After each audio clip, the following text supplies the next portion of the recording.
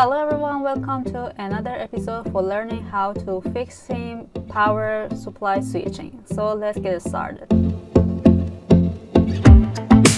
In this session of the tutorial, uh, we intended to examine the switching circuit.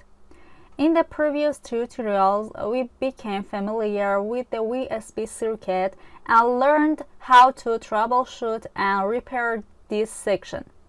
One of the most crucial parts of power supplies in the switching circuit and for this reason, this type of power supply is called switching power supplies. The switching section is designed in a way that if there is an anomaly in the power supply, it quickly shuts down uh, to prevent further issues.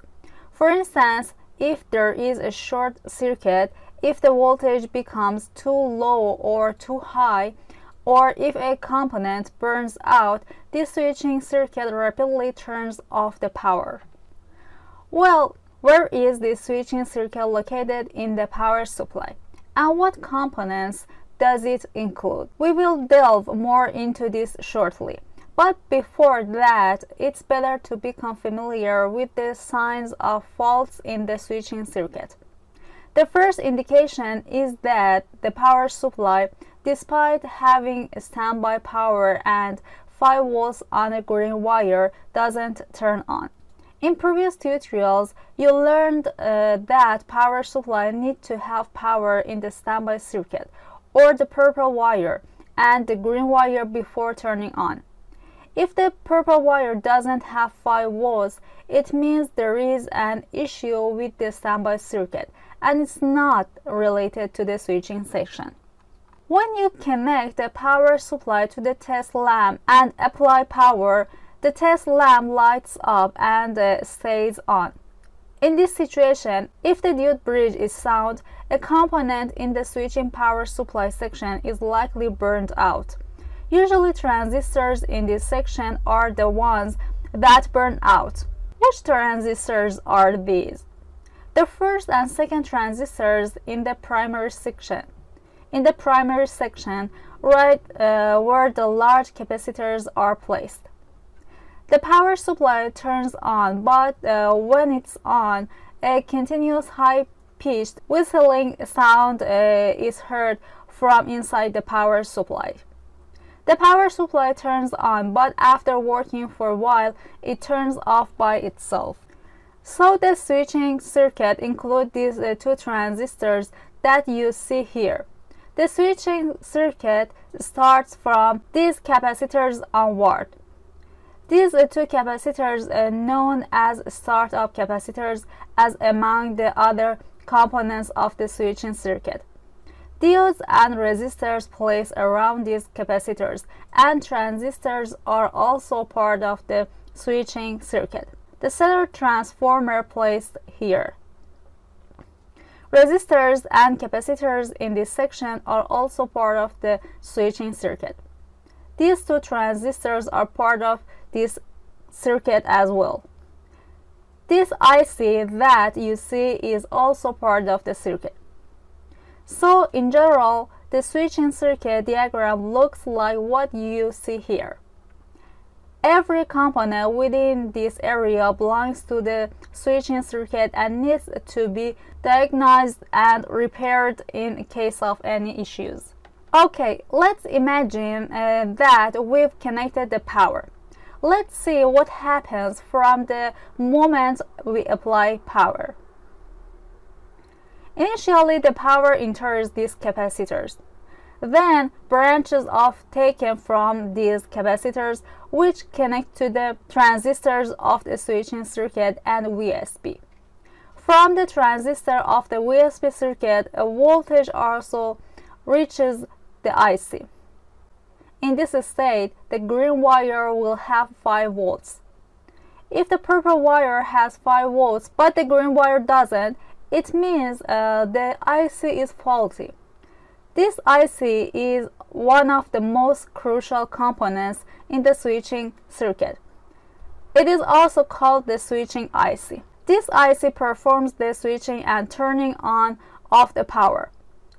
That is, when you connect one of the green and black wires together, this IC turns on uh, the circuit and initiates the startup of the power.